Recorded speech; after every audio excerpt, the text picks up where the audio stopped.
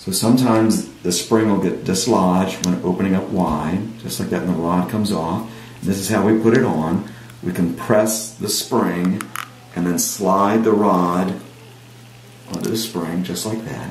Bite down, bite, okay, open up again, really wide, dislodge it, there you go.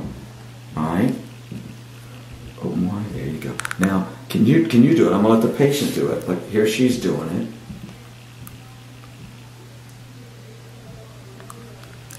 Perfect. Okay. Now keep coming back. Okay. Now take it out again. Can you dislodge it again?